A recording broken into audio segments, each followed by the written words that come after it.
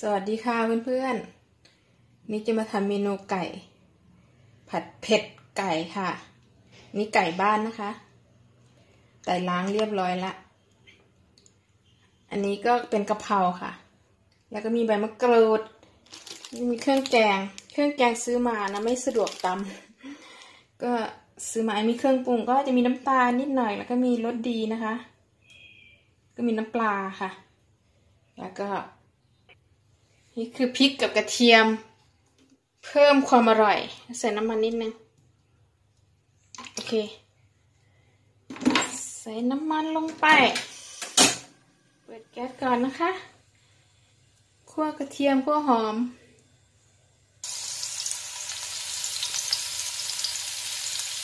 โอเคค่ะ หอมแล้วนะคะ แล้วก็ใส่พริกแกงลงไปค่ะ พี่แกงน่าจะพอนะแค่นี้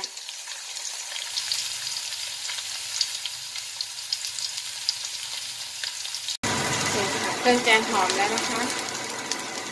ใส่ไก่ใส่ไก่ลงไปเลย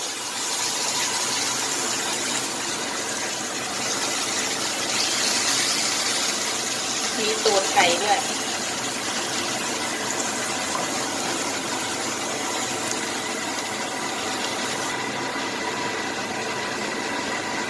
ค่ะแล้วก็ผัดไปเรื่อยๆเนาะ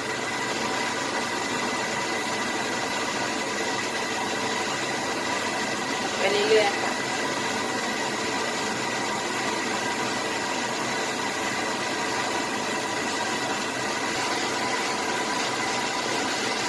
ค่ะได้แล้วเราก็ใส่เครื่องปรุงไปเลยผงปรุงรสค่ะ น้ำตาลนิดหน่อย ก็น้ำปลาปลา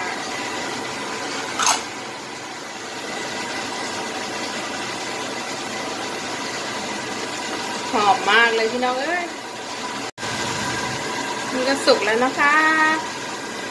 สุกแล้วเราก็ใส่ใบมะกรูด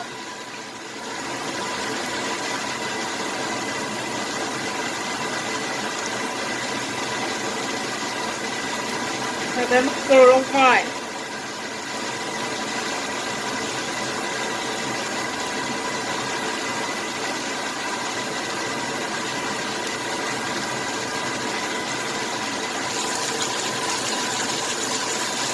ใบมะกรูด กับข้าว ใส่เยอะๆ หอมดี นี่แน่